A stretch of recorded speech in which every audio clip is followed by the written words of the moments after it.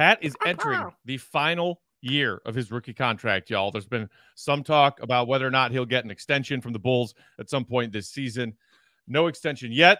And uh, I think a lot of Bulls fans feel like he's got to go out and prove something this season. This yeah. is the last year of his rookie deal. He has got to show us something more than what he has shown us through the first few years of his NBA career.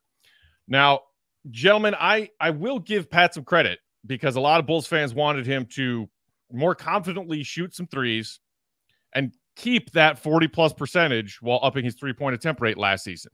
He did do that. We still saw some moments where he was hesitant when he had open looks, but he increased his three point attempt rate and kept knocking him down at a very respectable uh, percentage. So that's great. So personally, when I looked at, we know what Pat can do on the defensive end, and we believe that he can still continue to build himself into one of the better multi-positional elite defenders in the NBA. He's got the frame for it. He's got the quickness for it. I shifted offensively. I'm happy with Pat's three-point game. I want to see more of Pat using his body inside. When when he forgets how strong he is, it drives me crazy. It drives a lot of us crazy. So my goal for Pat this season is a little bit of a weird one, but I really want to see it happen. I want to see 100 or more combined dunks and and one field goals made Ooh. from Patrick Williams this season. Oh. Finish through contact at and around the rim and dunk, dunk, dunk, young man. For some context, his and one field goals made through his first three NBA seasons 17, four in his injury shortened season, and just 10. Patrick Williams played all 82 games last season and had 10 and one field goals made. Hmm. Dunks by year 51, 7, 59. I want the and ones to go up. I want the dunks to go up. He had 69 combined and ones and dunks last season. Get nice. that number combined above 100, please, for the love of God. Use your muscles, Pat. You have muscles. Use them. I love this. I really do love this. This is awesome. Like, I really do love this right here. Because, yeah, like for him to get that all it means is he's being more aggressive and he means that he's more sure of himself.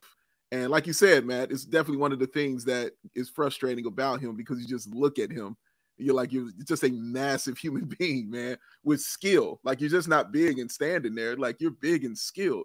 Like you should be just dominating some of these cats. Not every game, obviously, but there are definitely games where he should just be dominating a little bit more uh, on the interior. So no, I like this. I like this a lot, and I'm going to be watching it closely I'm definitely going to be on there. I like this. Yeah, super creative one. I feel like the last couple people we've been looking at like three point attempt rate and you know assist percentage and stuff like that. Like, go put the ball in the basket at the rim. I think that's like we we talked about that uh, so much last year with just like, can he put the ball in the deck and attack closeouts? Is his handle good enough to get all the way there? We know how big and strong he is. We know what kind of leaper he is just go put the ball in the rim. And I think that is going to really change the way teams guard him. It's going to change the way that he probably believes in himself. I, I think that mm. a really, really good one, a really creative uh, prove it number. I like it. I saw some people in the comments talking about Pat's rebounding as maybe something that could help, you know, offensive rebound, get a putback, maybe get fouled on the putback, um, and, and needing rebounding to be an element to open up Pat's game offensively. And I don't disagree with that if you recall, my prove it for Pat Williams at the, this time last season was to increase his offensive rebounding percentage. Spoiler alert, he didn't. It actually went down. So, so much for that. I don't care how you get your and ones and your dunks, Pat, but please start using your body on the NBA floor. Please. Please. Please. Please. I'm not asking for much. All right. Pat last Dave. year. Yeah. Sorry. Go ahead. Pat last year, sixth on the team in rebounds after Vooch, Drummond, Patrick Beverley, DeMar, and Zach. Like, wow. Wow. Patrick Beverley, came. Wow. That just made me a little angry. And, like, that's upsetting. the I Bulls- assume you're talking about. upsetting. Bulls I assume you're talking rebound. about rebounds per game. What are you talking about? Yeah, rebounds per game. Okay. The Bulls team Patrick rebound, Beverley was a like, bull for like six days, so I thought I was about to freak it's- out. It's boxes and elbows. You got to get into position. Uh, like they team rebound. Vooch does a really good job of like boxing out three guys at once and that kind of Robin Lopez sort of role. But Mhm. like Patrick, you're power forward to grab more than four rebounds a game. Yeah, Right. yeah. Get in there. Um, Jacob in the comments wants Pat to get to the free throw line some more. I, I mean, I wouldn't hate that. Wouldn't you gotta that learn how to. Yeah. You got to learn how to draw a foul. If you're talking about Pat drawing fouls when he's trying to, you know, break somebody down off the dribble, we haven't really seen that version of Pat yet. Um, Big Dave, where are you going for your goal for Oh. Pat Williams this upcoming season? First of all, shout out to Shirtless Wonder who's in the comments who said that to make me feel better, should he put a shirt on? Never put a shirt on. So That was such a good comment. never, That was such never a good put a I shirt comment. mean, on. shout Absolutely. out. Unless, unless it's a shirt from the CHGO merch locker, which I saw our CHGO Sports Insta shared the shirtless wonders uh, Instagram of him wearing our CHGO red gold shirt. So appreciate you, big guy. awesome, man. That's awesome stuff, man. Appreciate you. Appreciate you. Um, Patrick Williams, sir. I'm kind of in the same vein with you, Matt, about what I want to see from him. But what mine is, is what I would like to see him do is I want five games of at least 20 points. I want five 20 point games from Patrick Williams. Look, it's no secret when Patrick Williams scores, the Bulls are better. So look at this right here. Here- Here's some stats for you. When Patrick Williams scored 16 points or more, the Bulls were 10 and 3 last year. When he scored 20, they didn't lose a game. You know the problem with that? He only did it twice. Two times in 82 games, Patrick Williams scored 20 points. That is unacceptable. Once was January 4th when he scored 22, and the last one was April 7th, the game before the last game of the season. He scored 23 points in that game, man. When everybody was resting. Everybody chilling. And then he puts up 23. No, ridiculous. Patrick Williams' best season with 20 points or more was his rookie season. He had three. He had three games where he scored 20 points. Obviously, that second season he got injured and he had that big game against um, uh, the Timberwolves when again everybody was out. Game 82. Yeah. Correct. Game 82. So, yeah, he just hadn't done that. He has never scored back to back games of 20 points. He has never done that yet. He has not, he has yet to do that. The closest, Least came. surprising stat I've ever heard. Yeah, Least surprising stat I've ever heard. Yes. And the closest he came, though, was when he scored 22. And then the next game, he scored 18. And guess what? They won those games. like, that's what it is, man. When Patrick Williams scores, the Bulls are better. Now, I'm sure some people will say, well, yeah, when a fourth option can score 20 points, I'm sure you you know you'd be a better team. First of all, duh. Yeah, we know that.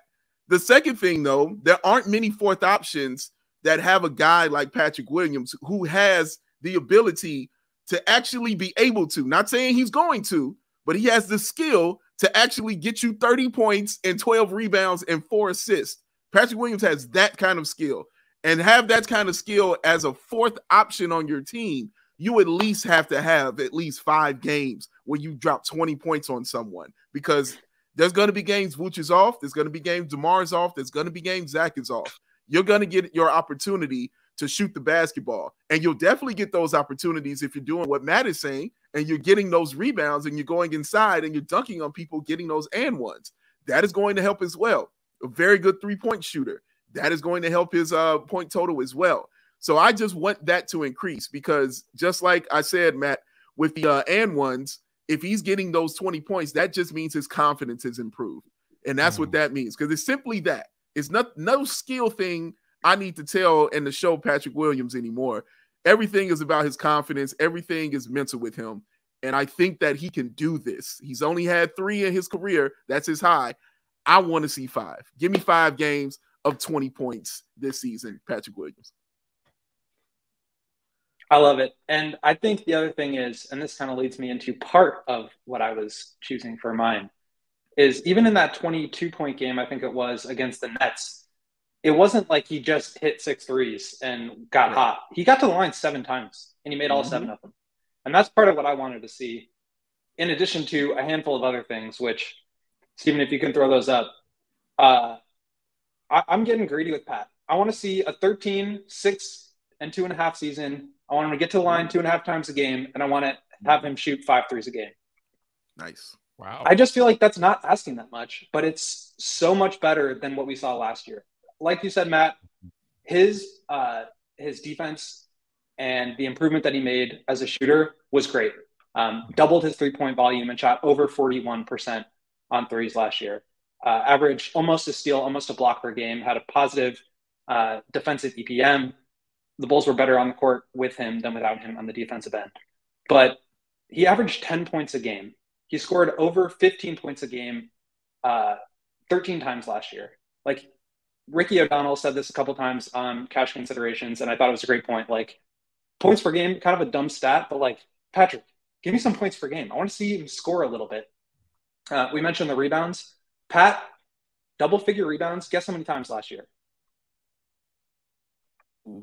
Once. I think I saw somebody in the comments just now say one time. Yeah, I was going to say twice. One time. wow. One time this past year.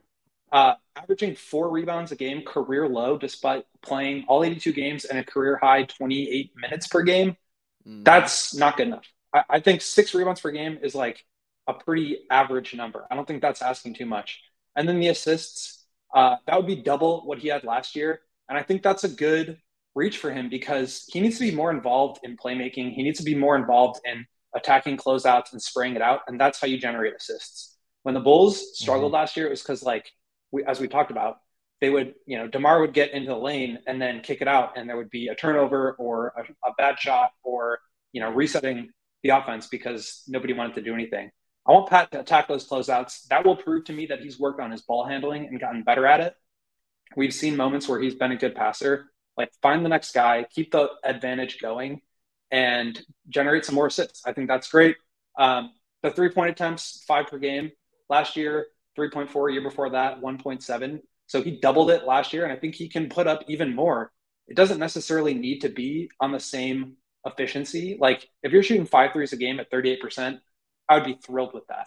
Um. He doesn't have to only shoot wide open ones. He's going to get a lot of those, but I want to see him stretch uh, just the quality of shots. I want to see him take a little bit more difficult shots, not pass up ones that are moderately contested. He needs to get those up.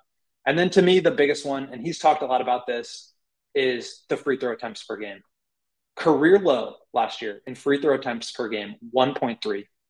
Mm. He is a very solid free throw shooter, 86% last year.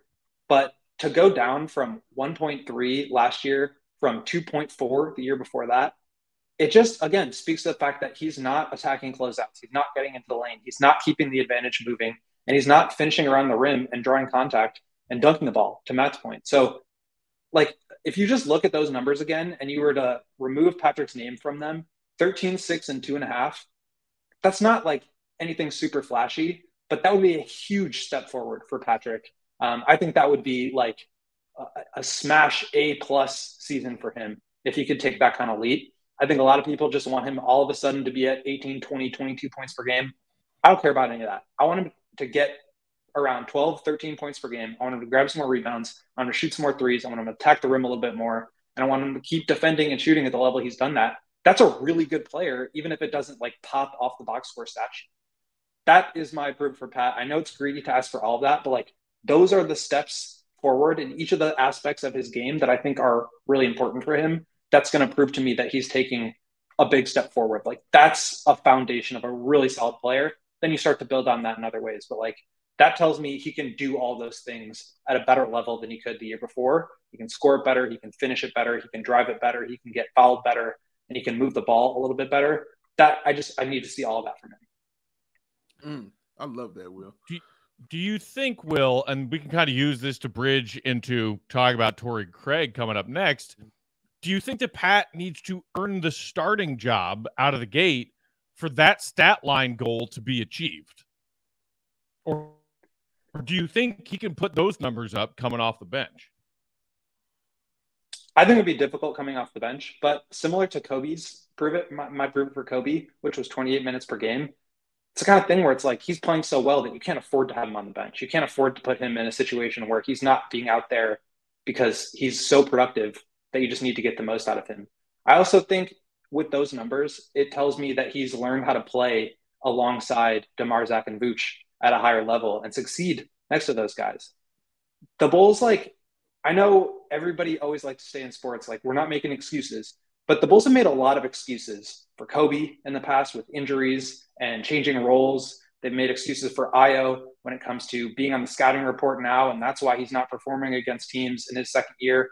They made excuses about Patrick missing almost a full season due to the thumb injury that kept him out during his second year. Like, I don't want to hear any of that anymore. Those are excuses. Like, these guys just need to get better. I think that's really what it comes down to. And if the Bulls have any hope for their future, it's because those three guys take a step forward. Like, period point blank, they need to be better. And I think it starts with Patrick. I think he's got the highest ceiling of that group. And if he can do those things, he's going to earn minutes. He's going to force Billy's hand to be on the court. And again, I don't think that's asking all that much. 13 points per game, six rebounds. Like he can do that. He can absolutely do that. And if he does, it's showing me that he's gotten so much better in all these different areas and that he's putting, you know, the, the necessary pieces together to really take a continued leap forward. We know progress is not linear. There's going to be games where he goes backwards. There's going to be a season like last year where in some ways he went backwards. But like I'm done with the excuses for all three of those guys, and especially Patrick. Like he was in the NBA, he played 15, 20 games that year that he broke his thumb. He's like lifting, he's learning, he's watching film with NBA team. like it's time. It's year four. It's time.